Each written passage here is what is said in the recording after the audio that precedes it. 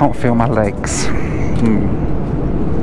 Hello from the border wall between the US and Mexico. That brown wall behind me, well, that's the wall. Just over the other side of there is San Diego, California, but we here in Tijuana in Mexico. You see that bridge across there? That's called the CBX, and that allows people from San Diego to walk across the border and take a domestic flight within Mexico um, on one of the many low-cost airlines and get to anywhere they like, really, within Mexico. Domestic flights within Mexico are really, really cheap, and one of the airlines that operate those cheap flights is an airline called Volaris, and that's the airline we're flying on today. Tijuana Airport sees service from all of the main Mexican airlines, from low cost airlines such as Volaris and Viva Aerobus, up to full service airlines like Aeromexico. It offers flights the entire length of Mexico from right here on the border. Got me burger, all very good. And um, that was sort of another reason actually going through security, I was just thinking of how easy it was getting through security here um, at Tijuana Airport compared to how it can be sometimes in the States with TSA and everything, shoes off, electronics out, everything, all the rest of it. It's a lot more laid back here at Tijuana and I can see why people living in San Diego might want to pop over here to the border through the CBX and stop on a domestic flight here. It's a lot easier flying from Tijuana than it is from um, airports over in the States.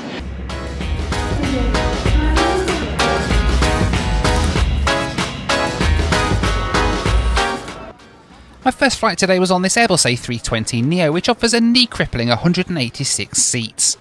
Along with Frontier and EasyJet, Volaris operate this aircraft in its densest configuration. I think they are boarding by like windows and aisles and middles and then toilets and then bathrooms and kitchens. I don't know what they're doing.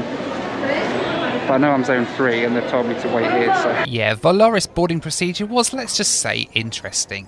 Right, we're due to be departing now in 10 minutes from now. They haven't even started boarding yet. Um, so this is going to be fun, isn't it? And I've got only got a, quite a tight connection on in Puerto Vallarta on the way down to Mexico City. So who knows if we're going to make that flight at the moment. Well, we've got 10 minutes to board 186 passengers. Call me a cynic, but I don't exactly think that's going to be happening. Finally, they started boarding using their new COVID procedures, which, to be honest, didn't seem to make much sense what I don't get here is if this is for social distancing, they literally, I'm in the last row in the window, so surely that means that I've got to walk past everybody to get on. Doesn't seem to make much sense, but hey, we'll see.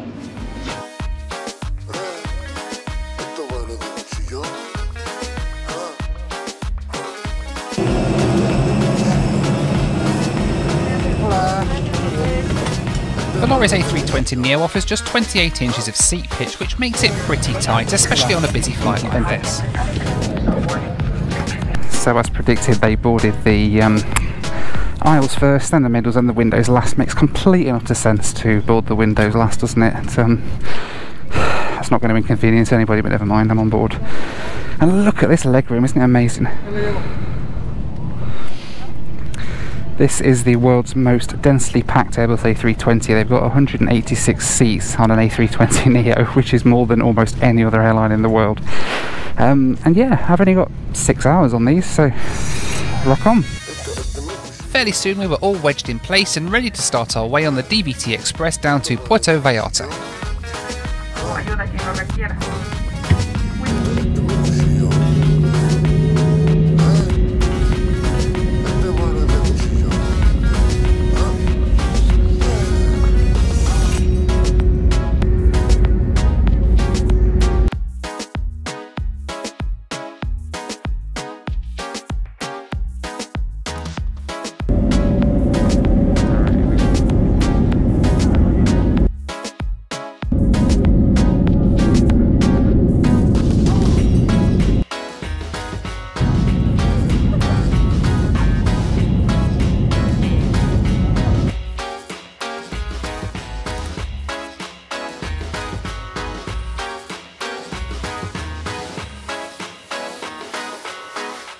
Our first leg today then took us down the coast of Mexico to Puerto Vallarta. Flight time today was 2 hours and 10 minutes, cruising at 39,000 feet. So there we go then, airborne from Tijuana, heading down to Puerto Vallarta on the... I think it's on the coast of Mexico actually.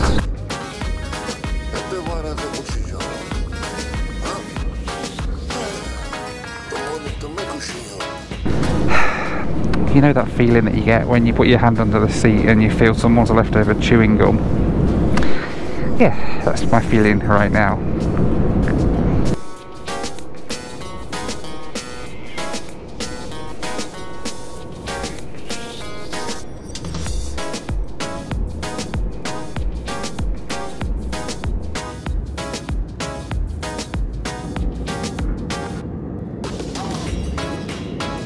Before long, the buy on board service started.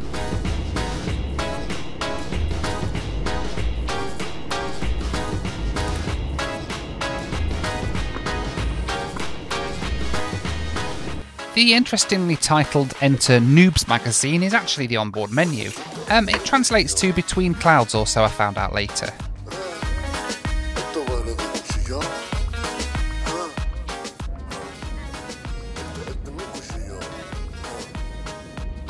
Okay, so the trolley's been round and I've got my waters. Interestingly, they operate on like a restaurant type system where you just they add stuff to your bill as you go through the flight and they come around and you pay at the end.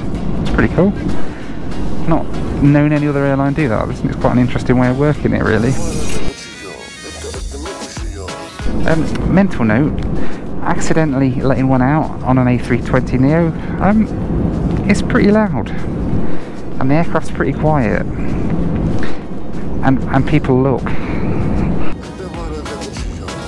Okay, so sit rep, we're now an hour into the flight and I can't feel my legs. Hmm.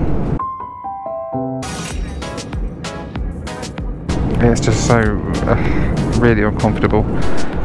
We do have about an hour left down to Puerto Vallarta on the coast. Um, scenery is good out the window, but it's just so tight on this A320 Neo and I really do hope that the next plane that we get with Volaris is a little bit more spacious than this. We'll see.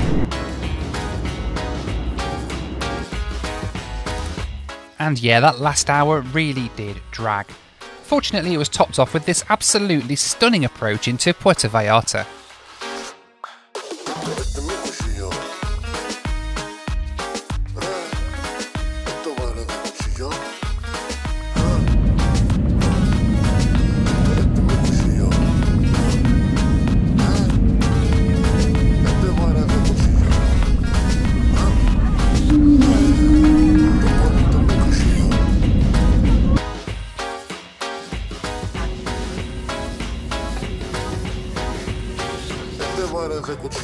Disembarking was done by row with the flight attendant stopping at each row to let people out. Now this did actually make sense compared to their rather chaotic boarding process. Gracias, luego.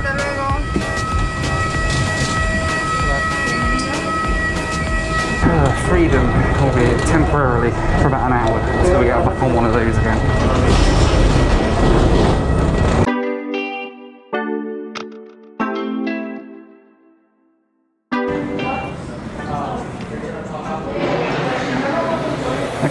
Connecting flight, but there's no connections here at Puerto Vallarta, so we'll have to go all the way out and all the way back in again. Yay!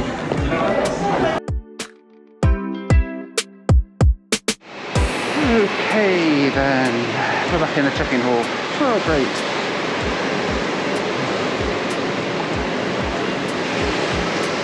It's like I need to hot foot it through security then to get back airside again. Great.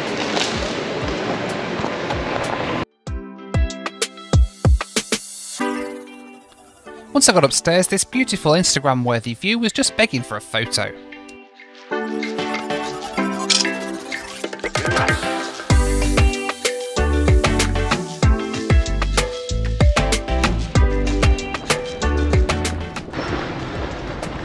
Right then, through to the gate. At least I get to stretch my legs here. I think I need it after that. Hey. It's a bit deserted here at Puerto Vallarta.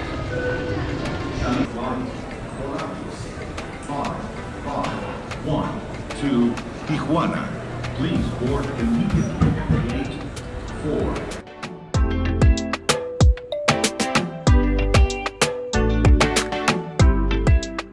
Right, made it to the gate, even with a bit of time to spare as well, so it's quite funny. We're actually going off the gate next to the one where we've just arrived to. And actually, we could probably have got back to Tijuana because that's my plane that's just come in from uh, Tijuana. I don't know whether you can see it there. Um, he's not even left yet, they're just doing the final call now. And then here is my plane up to um, Mexico City. I'm heading up to Mexico City on Julian. So let's go and have a ride on Julian to Mexico City. It was time to see whether boarding here would be just as chaotic as it was up in Tijuana. Hola, número, 3.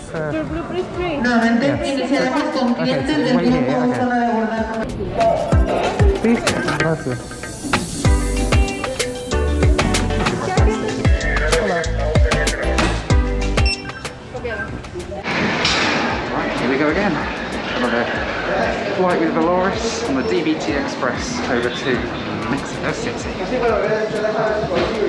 Okay, so this seems to be a bit of an older Airbus A320. The seats are certainly a lot battered, but I do seem to have slightly more leg room than I did on the um, A320 Neo. I think, if I remember right, there's an extra two rows on the A320 Neo compared to this one, so um, we should have a little bit more leg room. It just feel a little bit more spacious, even if the seats are sort of a bit creaky and old. But never mind. It's only an hour on this one as I think, up to Mexico City. Looking forward to it. Should be a good flight. Looking forward to getting back to my hotel room um, for certain.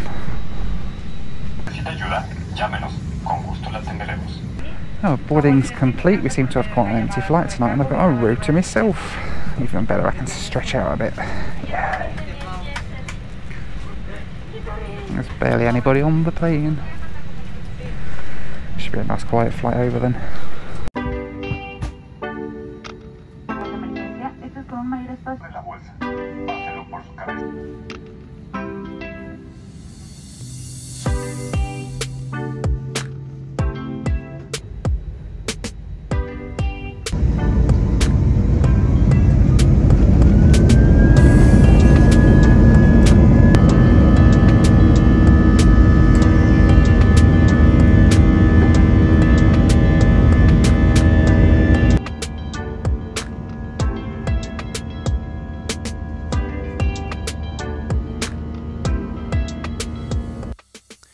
Leg 2 tonight then took us across to Guadalajara and down to Mexico City. Flight time on this leg was 1 hour and 3 minutes, cruising at 33,000 feet. So then last flight of the day over to Mexico City.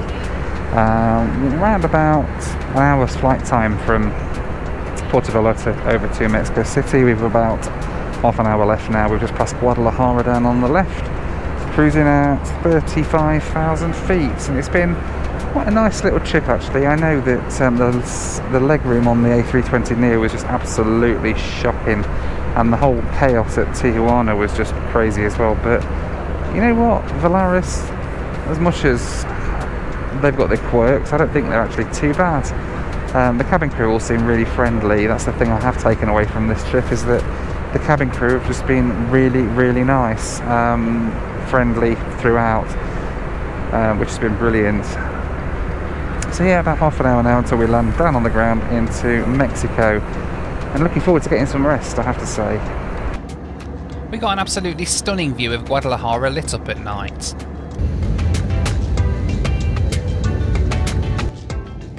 The only thing more stunning was the approach and landing into Mexico City, which at night time is just an absolutely incredible experience.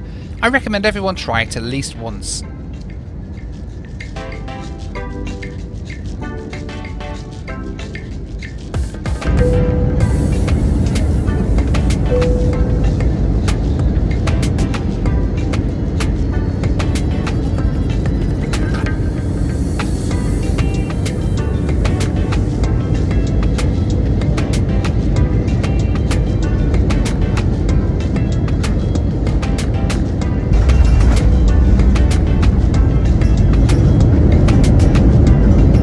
Flight today cost me £110 or about 150 US dollars.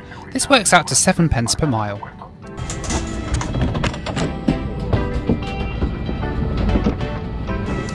Gracias. So there we go, made it back to Mexico City.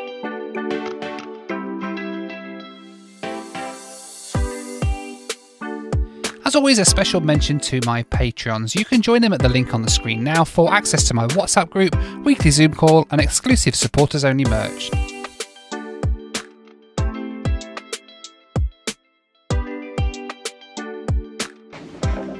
Oh. Right. Back in my room. What an exhausting day that was, and um, what an exhausting flight that was with um, um, Volaris. I forgot what they were called. I was going to call them Interjet then, um, but Interjet don't exist anymore. Um, what is this? Montejo beer. My little freebie that I get um, with being a gold member or something here at Hilton. I'm not complaining, I get free beer every night. Let me know what you thought too, Volaris, down in the comments below. And also, your favourite Mexican beer. Montejo, I haven't tried that one yet, but I will do, and I'll let you know what it's like. Um, but yeah, let me know down in the comments. In the meantime, as always, thank you for watching, take care, and I'll see you on the next one. Bye for now.